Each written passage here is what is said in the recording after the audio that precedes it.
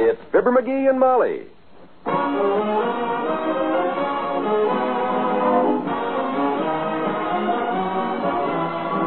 NBC and Tums bring you the Fibber McGee and Molly program, transcribed, written by Phil Leslie, and directed by Max Hutto.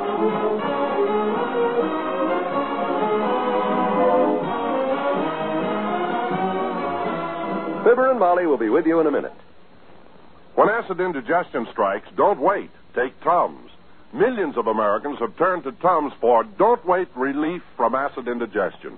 People in all walks of life carry Tums for record fast relief when some favorite food brings on acid indigestion or heartburn.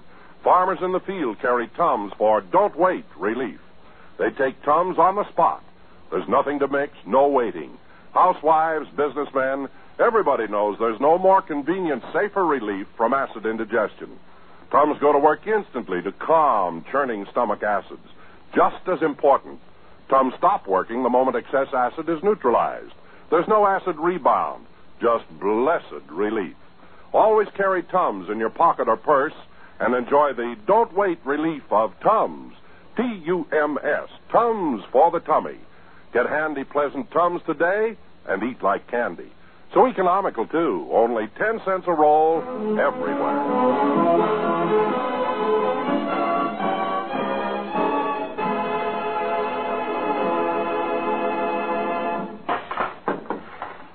Whew, there. I got the silver all polished. Kitchen's taken care of.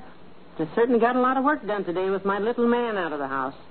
Now, uh, Hey, Molly. Hey, Molly, I'm home. oh dear, I just made it. I'm in here, McGee. I'm back, kiddo. What's new? Just about everything. I've just finished doing the house from top to bottom. Whew. Good. I don't know when I've put in such a day. Yeah? Floors, woodwork, furniture, shelves. Well, you know, I put in a tough day, too, kiddo. I got everything you sent me for, even if it did take me all day. Good. I'll finish putting these things away and then start the dinner. Good idea. With all that fresh air and running around town, I got an appetite like a fat kid in a candy store. I think I'll just fix myself a little snack. While... Don't go in the kitchen. What's the matter? I just finished mopping in there. The floor is still wet. Oh. Well, then I'll just sit here and read the paper. You know, it's. McGee, look out. What's the matter? What happened? The chair, I just shampooed it with some of that new upholstery cleaner. It's wet. Well, all you had to do was tell me. You didn't have to scare me half to death. I'm sorry, dear. That's okay. I'll just sit over here. I'm afraid you can't do that either. I shampooed that one, too. Well, there's still the Davenport. I'll just stretch out. Wouldn't on- you rather do some work in the basement? You know you still haven't fixed that loose leg on your workbench. Not the Davenport, too. Well, once I got started, I thought I might as well do the whole room. Oh, quite a job, too. Fine thing. I spend a hard day chasing all over town, and I can't even sit down and read my newspaper. I've had a busy day, Molly. I'm tired. You've had a busy day. You're tired. You're complaining. Why, Molly, you raised your voice at me. I'm sorry, sweetheart. I'm just tired, that's all. See there? Even the little parakeet is scolding me. I'm sorry, Birdie. Oh, that's okay, Tootsie. That's okay. You've been working too hard. You you ought to take it easier. Well, there's always so much to Gee do. whiz, you never used to do half this much housework when we were first married, Molly. How could I with you following me around the house and tickling me all the time? yeah, I forgot about that. You sure were ticklish in those days. Uh, how'd you ever get over it? I didn't. You were the one who got over it. Oh. Hmm. Are, are you uh, still ticklish? now look out, McGee. Don't be silly. You're still ticklish, huh? Let's now, see if now, this now, time- don't. Look out. You tell him, Birdie. Make him behave. McGee, now stop it. Ah, it's good to see you laughing again. Housework must get pretty dull. You need to relax. Look, how would you like to go out to dinner tonight? to dinner? Oh, no. No, no. I'm awful tired, McGee. Besides, isn't this your bowling night? I saw Doc Gamble downtown, and he begged off. Said there's a medical convention in town, and he has to take one of the doctors out and show him the town. Come on, I'll take you out to dinner. Oh, no, thanks. I'm too tired. Ah, Anyhow, Wall Malt Shop is always crowded at dinner time. I'm not talking about the malt shop. I was going to take you out to the sump room at the Ritz Vista. Eat in style. Maybe a little dancing. Of course, if you're too tired. What? The sump room? I'll be dressed in 20 minutes. I'll lay out your good shirt, dearie. Oh, this is going to be fun.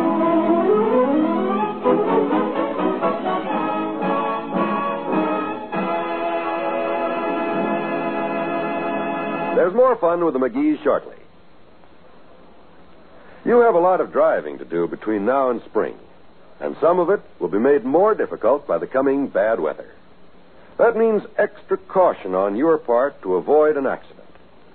Statistics show that there are more accidents during the winter months than at other times of the year, and it's easy to see why. Not only snow and ice on the roads, but the added hours of darkness and poor vision caused by frost or fog in the windshield all make for danger. But a little extra attention to the rules of driving safety will help you to avoid an accident that could spell tragedy for you, your family, or friends. First of all, be sure that your car, especially the brakes and tires, is in perfect condition before you start, and have tire chains handy in case you need them. Second, drive slowly. Third, watch the traffic signs and obey them. And fourth, signal for all stops and turns. Guard against traffic accidents this coming winter. Drive carefully for your life.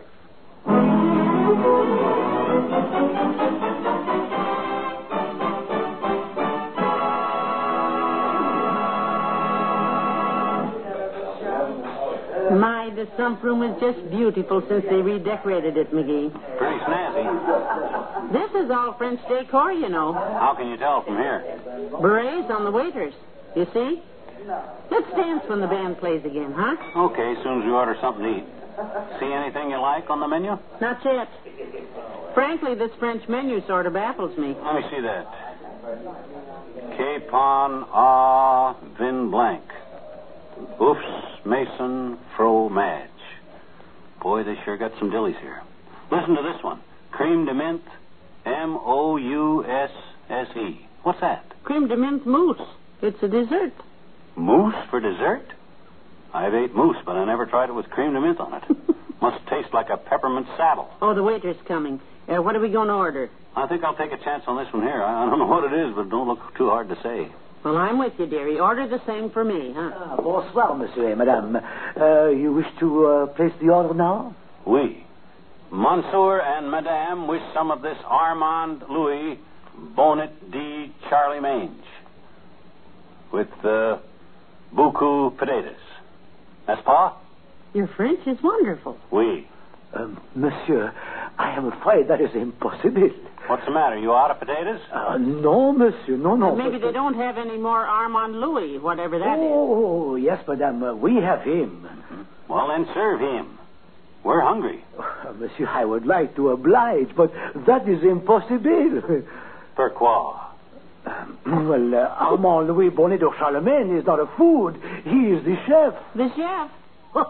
oh, dear. Well, how did I know? He sounds delicious. Uh, what would you recommend, sir? Or, uh, garçon? Uh, Well, if madame would like, I, I would recommend le coq Napoléon et Josephine d'Amour en vin rose. Well, that sounds great. What is it? Uh, southern fried chicken. Two orders of that, please. Uh, merci, madame. Oh, this is such fun, McGee. Yep. You like this table all right? Is it okay here? Fine, fine. I like to be near the kitchen. It's more homey. Yeah. Not too close to the orchestra. That's what I like. Last time we ate here, we sat down so close the trumpet player kept knocking his derby in my soup. we won't have that trouble this time. Oh, look, the band is going to start. I think. Can you see from here? Yeah. Yeah, you hear him? Shall we dance this one while. What are you looking at? Hey, can you see that table over there by the potted palm? Kind of in behind it there? Can you see him? You mean in the corner there? Yeah, yeah. Can you make out who that is? Oh, looks like a very pretty girl. Well, for goodness sakes, it's Dr. Gamble. That's him. Ah, the sly old dog. Ha. Had to take a visiting doctor out and show him the town, he says. I wonder who the gal is. Must be a patient. I see he's taking her pulse across the table. Come on, let's join him. Come on, But I thought we were going to dance this one. Now, this'll be more fun than dancing. Come on. I want to see how that big moose behaves around a girl. Oh, McGee, we shouldn't butt in. Still, it's the only way we'll find out who his girlfriend is. Come on. Imagine old lard bucket with a real girl. Probably some little scatterhead that talks baby talk to him. Who dread big doctor man is who? She's pretty, all right. Telling me he couldn't bowl and entertain a visiting doctor. Ha! boy, will I ride him. Well, Molly, look who's here. Dr. Gamble. Why, well, McGee. Hello, Molly. Hello, Doctor. What a what a nice surprise. Yeah, this is a surprise, Doctor. I understood you were busy tonight. Had to entertain a visiting doctor, Doctor. Uh, sit down, join us. I see. Molly, I'd like to present my very dear friend, Dr. Grace Goddard. Doctor, this is Mrs. McGee. And Mr. McGee. Happy to know you. How do you do, I'm sure, uh, Doctor? Uh, d- uh, d- uh, doctor? Oh, lady doctor, huh? Well, glad to know you, Doc. Do sit down, please. Uh, we uh, we don't want to interrupt anything. No, if you kids want to hold hands. Sit well- down. Okay. Dr. Goddard and I were just discussing a new method of trepanning, a frontal lobectomy technique that she's developed. Oh, oh yes, yes. Could you try that again and don't drag your feet? Well, it's more of a lobotomy procedure, actually. Exploratory, you know. Diagnostic. Oh, yes. Oh, sure, sure. Diane Ostrich. Dr. Goddard is delivering a paper on the new technique at the convention tomorrow. McGee used to deliver papers when he was a lad, didn't you, dearie? Huh? Uh, oh, yeah.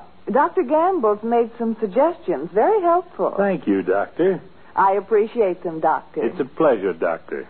You uh, you look quite young to be a doctor, Doctor. Thank you. She means me, Doctor. Thank you. Yeah, yeah, yeah. She means her, Doctor. Care for a cigar, Doctor? No, thank you. Uh, he means me, Doctor. Oh, excuse me, Doctor. No thanks, McGee. Have you been uh, dancing, Doctor? No, just, talking, shop. oh, excuse me, Doctor. She means you, you, Doctor. Doctor. I meant both of you, Doctor. Uh, McGee and I started to dance, but we thought it'd be more fun to join you two. Yeah, well, we'll dance now, though, if you'll excuse us, Doctor. Uh, you too, Doctor. Well, come on, Doctor. Uh, Molly. Yeah, go right ahead. We'll see you later. Brother, some romantic character he is. Mm-hmm. I might have known when Doc had a date he'd pick some gal he could talk the fracture business with. My goodness, a real lady doctor. So pretty, too. Boy, what a Romeo. He's got about as much romance as a sack of turnips. Takes a good looking girl out on a date, and what does he talk about? Wait, wait a minute. Look, can you see them? He's taking her pulse again. Yeah, once a doctor, always a. First time I ever saw him take anybody's pulse with both hands. Oh, will you look at it? hey, she must have something in her eye. Doc's leaning over her like he's trying Come to. on, sweetheart, let's dance. Oh, let's.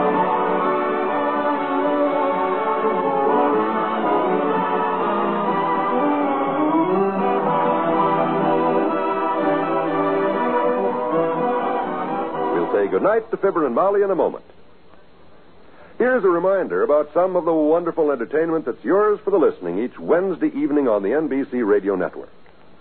There's comedy for everyone when you set your dial to NBC for such stellar broadcasts as You Bet Your Life with Groucho Marx and The Great Gildersleeve starring Willard Waterman. Gildersleeve is the water commissioner of Summerfield, and he's always managing to get himself into hot water with Birdie, Leroy, and the Jolly Boys.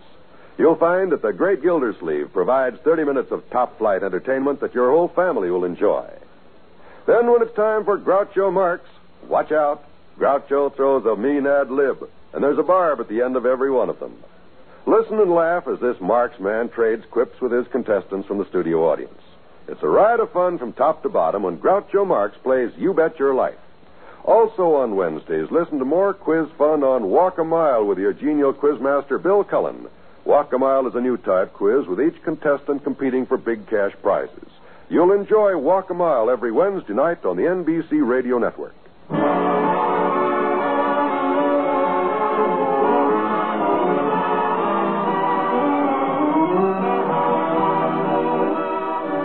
My, that was a nice evening, McGee. Yep.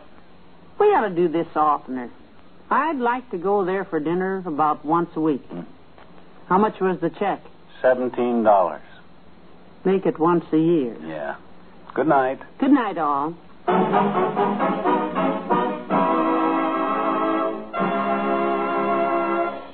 NBC and Tums have brought you the Fibber McGee and Molly program, transcribed with Arthur Q. Bryan as Dr. Gamble, Rolfe Sedan as the waiter, Mary Jane Croft as Dr. Goddard. This is John Wald inviting you to be with us again tomorrow night for another visit with Fibber McGee and Molly.